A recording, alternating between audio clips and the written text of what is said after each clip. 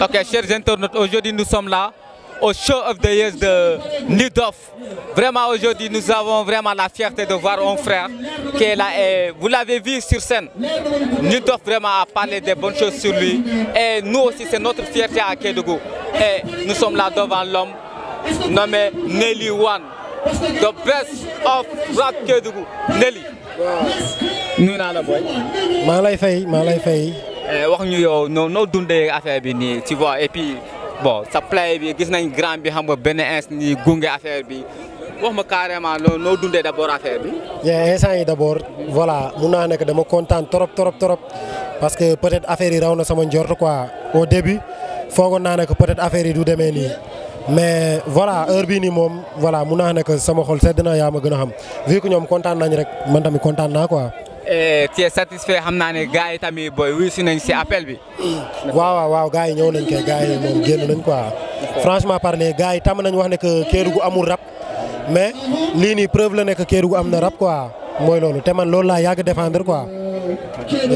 Kédougou rap baa ngi dund ne lii waan wax na ko te tey tey tamit public bi ñuy gis fii nii vraiment. wone ne ni carrément Kédougou rab bi mu ngi dund mu ngi dund ah booy loo mun a wax ci gars yi d' abord artistes yi fii ñëw gars yi ñëw accompagner affaire bi loo leen mun a wax ban remerciement nga mun a joxe ci ñëpp ñi nga xam ne tamit gunge nañ la staff bi et autres. yee déjà mun naa ne que genre événement yi nii gaawul am Kédougou quoi mooy loolu léegi suñu gisee genre événement yi nii am Kédougou voilà dañuy xam ne que voilà.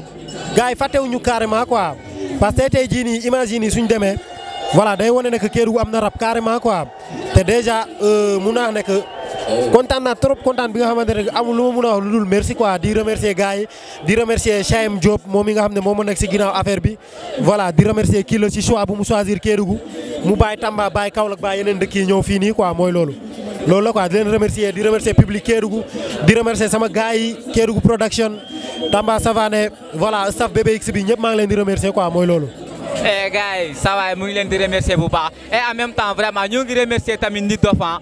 parmi les quatorze régions du Sénégal choisir na cinq régions te cinq régions yooyu Kédougou bokk na ci te tey tey nii gis nañ tamit vraiment public bi ñëw nañ vraiment soutenir affaire bi ils ont répondu à l'appel et vraiment ça c'est une fierté tey lii wone na ne carrément Kédougou rab bi mu ngi dund bu baax a baax et Neliwan yow loo mën a wax léegi gars yi ban rendez-vous ngay joxe waa tamit. non déjà maa ngi si projet. Euh, deuxième son bu ma joué Sénégal Ndiaye bi maa ngi si projet te fii laa defee annonce bi exclu la quoi projet bi Sénégal Ndiaye lay tudd voilà maa ngi job lu voilà lu lu raw seen njort quoi li nga xam ne peut-être. du ngir Kédougou du ngir Sénégal mais ngir àdduna bi yëpp quoi parce que vision bi ci kaw lañ ko yóbbu bëgguñu yem Kédougou représenté Kédougou yóbbu ko feneen ak feneen quoi mooy loolu gars yi nañu xaar projet bi après projet bi le 12 novembre si stade bi fii nelli woon 100 pour cent Kédougou amul benn artiste buy ñëw mais 100 pour cent Kédougou quoi.